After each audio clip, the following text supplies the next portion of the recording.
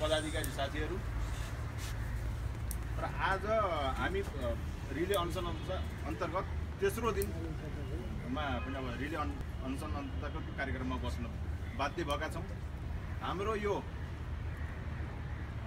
के भन्ने भन्नाले कानमा तेल हालेर बसेको निकममा व्यवस्थापनले हाम्रो आजसम्म पनि कुनै पनि माग मागको कुनै पनि प्रतिक्रिया नदिएको हुनाले अब हामी अझै सशक्त रूपबाट आन्दोलनमा होपिन बाध्य भएका छौँ।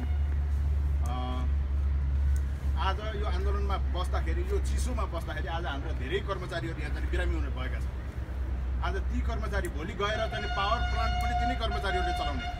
आज यी कर्मचारीहरूलाई बिरामी बनाएर ओछ्यानमा सुताएर यिनले पावर हाउस कसरी चलाउने हुन् कर्मचारीहरूका आन्दोलनलाई कर्मचारीको मागलाई बेलैमा सम्बोधन नगर्दा अब हामी झनभन्दा झन् अब सशक्त रूपबाट आवश्यकता पर्छ भने हामीले आफ्नो गिरफ्तारी पनि दिन सक्छौँ।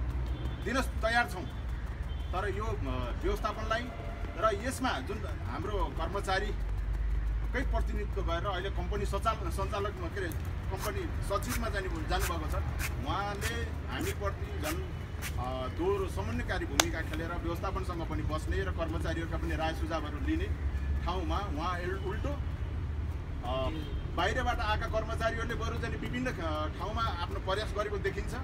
तर उहाँबाट यो कुराको झन् उल्टो आफूले आफूलाई नै स्मार्ट मा मानेर आफूले नै म नै हो यहाँको हर्ताकर्ता र भन्ने र अरू कर्मचारीहरूलाई गन्दै नगर्नेको अवस्था भएको हुनाले हामीहरू अब झन् कडा आन्दोलन हाँक्न जाने बाध्य भएका छौँ।